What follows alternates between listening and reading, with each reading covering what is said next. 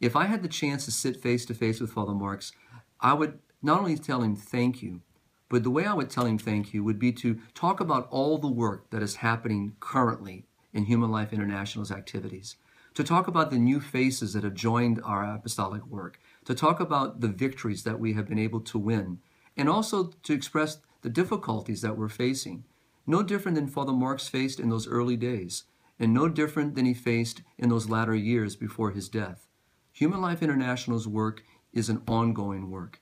And as long as there's a threat against life and family, Human Life International will be there. And as long as there are opportunities for us to carry forward that work into new territories, we will continue to carry that message forward. This is the way we honor and remember him. And I believe that Father Marx would be so pleased to see what's being done, not in his name, but in the name of the gospel of life.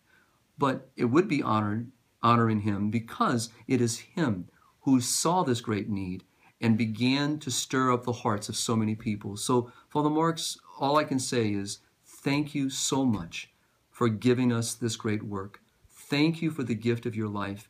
And I pray in some way as you look upon us that you are pleased with the work that we're doing and that you are interceding for us, praying for us, helping us to truly be the apostles for life as you were.